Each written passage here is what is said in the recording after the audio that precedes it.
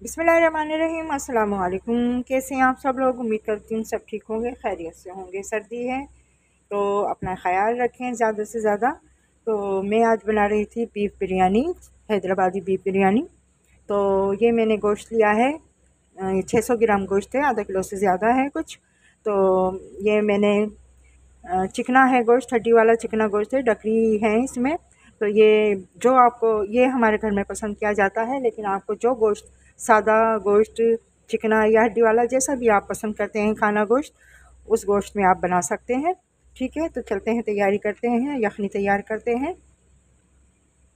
एक टुकड़ा मैंने लिया है ये अदरक का।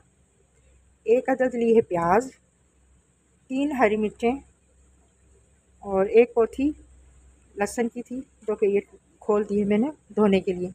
ठीक है रखी हुई पोथी में अंदर तलक मिट्टी चली जाती है इसलिए धोने मैंने इसे तोड़कर धोया है। एक पोथी थी ये ठीक है? अभी फ़िलहाल एक टीस्पून के करीब डाल रहे हैं हम हाँ, नमक डाल रहे हैं। ठीक है कम ज़्यादा हम पानी में देख लेते हैं।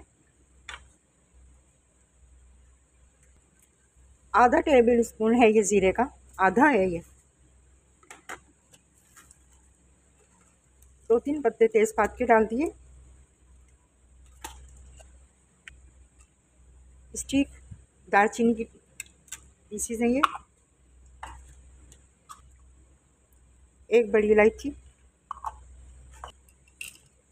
पंद्रह बीस काली मिर्चें। छः सात लौंग। तीन से चार सब्ज़ इलायची। और तकरीबन मैंने चार से पाँच गिलास पानी इसमें डाल दिया, ठीक है? और इसे पकने के लिए हम रख देंगे। अगर आपको जल्दी है तो कुकर में बना लें, नहीं तो देखती मैं, आप यखनी बना लें। तो मैं कुकर में बना रही हूँ, ठीक है? तो मुझे पता है मेरा कुकर कितनी देर में गोश्त गला देता है और कितने पानी में गोश्त गला देता है। आप भी, आप अपने कुकर के कुकर के अंदाजे के मुताबिक ना ये कर सकते हैं, ठीक है? तो हम इसकी ये ढक्कन लगा देंगे और रख देते हैं। इसको मैं पंद्रह मिनट के लिए पकाऊँगी। सीटी बोलने के बाद पंद्रह मिनट पकाऊँगी और देखते हैं पंद्रह मिनट के बाद। ज़्यादा ही जल्दी मैंने कर दी। ये अभी साबुत धनिया है। दो चम्मच है ये ठीक है। और एक चम्मच है सौंफ। तो हम रख, रख देंगे। मैंने जल्दबाजी में बंद कर दिया बहुत जल्द ठीक है।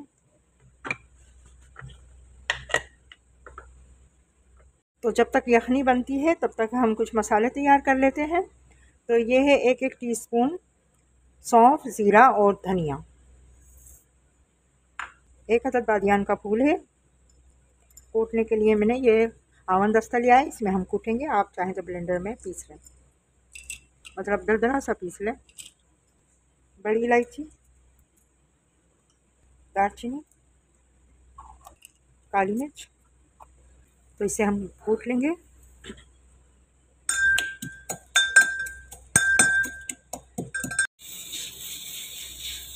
जायफल जावतरी की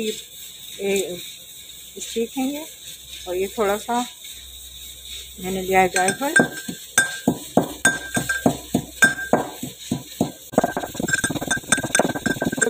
मसाला हम और बना रहे हैं। ये अदरक। एक इंच का टुकड़ा, लहसुन, दस बारह जवे छः अदद हरी मिर्चें,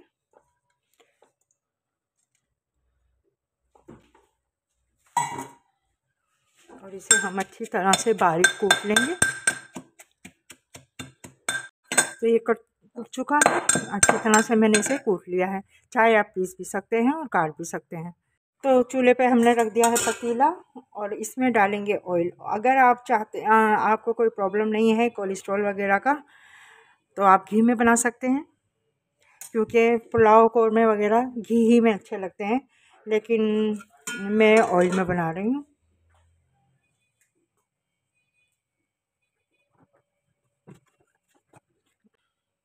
ये तकरीबन 100 ग्राम के करीब मैं ऑयल इसमें डाल रही हूँ। दो दरमियानी मैंने प्याज लिए हैं, रखड़ी उन्हें काट लिया है।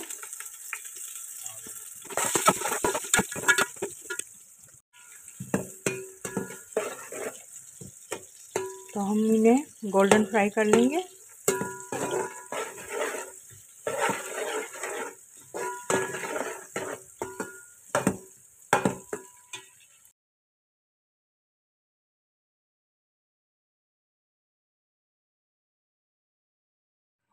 तो प्याज मैंने निकाल ली है। और ये कुछ गरम मसाले हैं।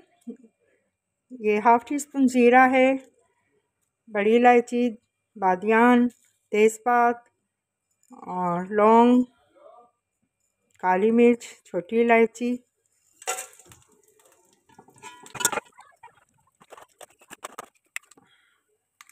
दालचीनी। तो हम इसको कड़कड़ा लेंगे।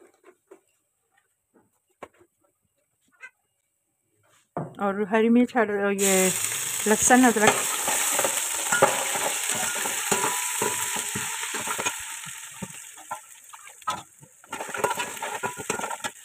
अच्छा प्याज जल ना जाए, इस वजह से मैंने सारी प्याज निकाल ली थी, लेकिन हम आधी बाहर रखेंगे और आधी इसमें डाल देंगे।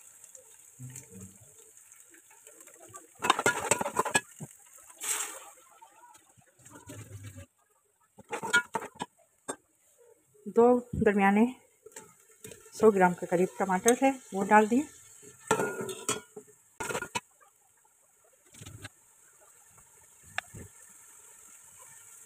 हाफ़ टी स्पून कुटी हुई मिर्च डाल रही हूँ मैं।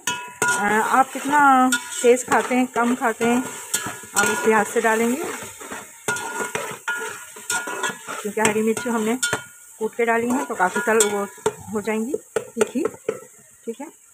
मिर्च अगर आप ज़्यादा खाते हैं तो और ज़्यादा डाल सकते हैं। कुटी हुई लाल मिर्च या किसी हरी मिर्च, कुटी हुई।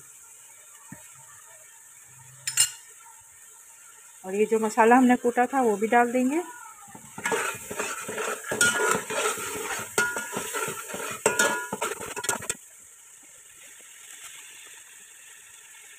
आलू बुखारा आठ हज़ार देंगे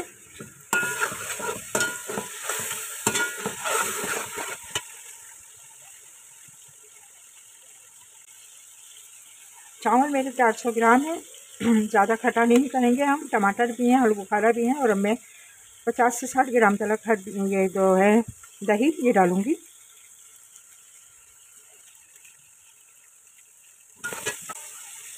हम थोड़ा थोड़ा पानी करके इसमें डालेंगे ताकि जो अदरक लहसुन की स्मेल है, वो ख़त्म हो जाए और भुन जाए अच्छी तरह से।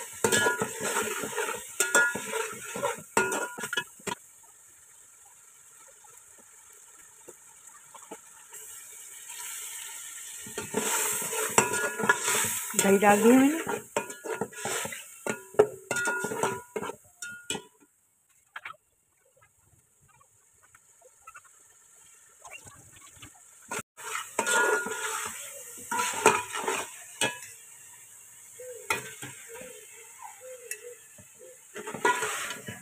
छः सौ ग्राम गोश्त है और चार सौ ग्राम चावल है।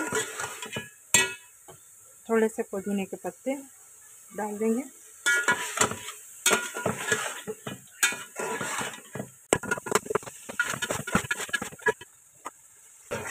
ऑयल छोड़ दिया यखनी अच्छी तरह से मसाला।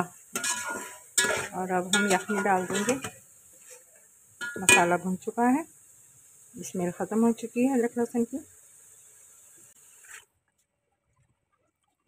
तो मैंने एक प्याला लिया था चावलों का तो मैं दो प्याले डालती हूँ पानी के।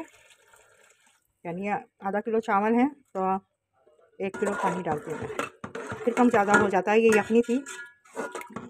पानी नहीं था। ठीक है तो डाल देंगे चावल।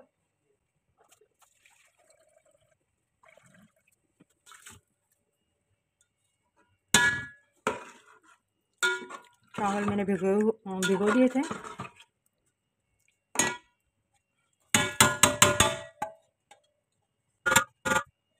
ये एक घंटा से, आधा घंटे से ज़्यादा हो गए क्योंकि मैं कुछ काम में लग गई थी तो मैंने पानी भी थोड़ा कम डाला है, एक किलो से।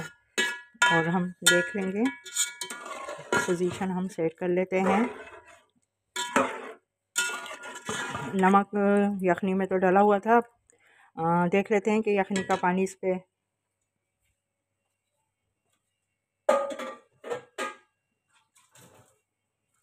जो कड़वाहट है पानी की वो सही रहेगी या हमें नमक और डालना पड़ेगा ठीक है? तो छकते हैं हम नमक।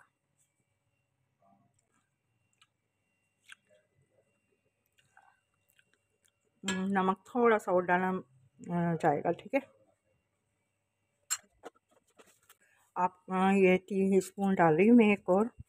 आप कितना नमक खाते हैं, आप अपनी टेस्ट के मुताबिक डालेंगे, ठीक है? मैंने चखा है मैंने अपना टेस्ट के मुताबिक डाल लिया है। वैसे पानी जब हम डालते हैं, थोड़ा तलखी होनी चाहिए पानी में, इतना नमक डालना चाहिए, ठीक है?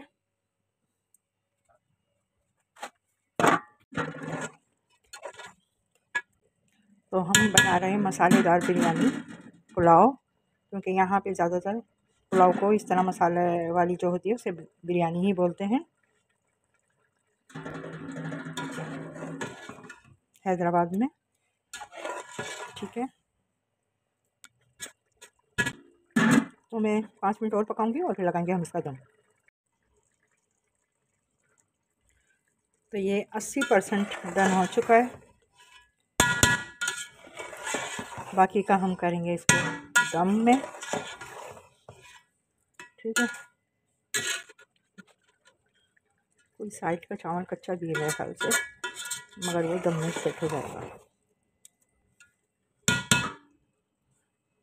यहीं से दम तो हम डाल देंगे ये प्याज।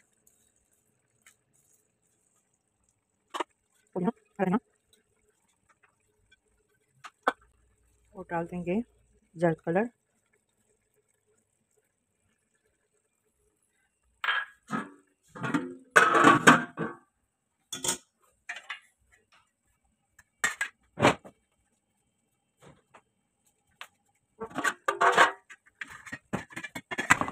तवा लगा रही हूँ नीचे में।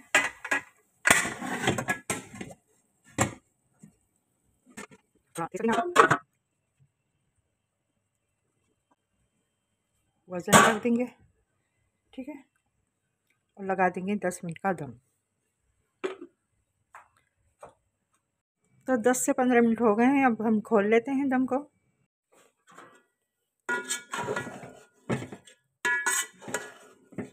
मिक्स कर देते हैं इसको।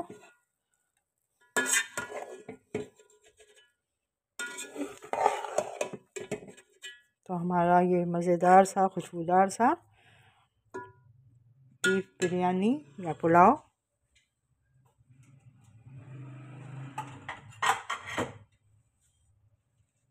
तैयार हो गया है।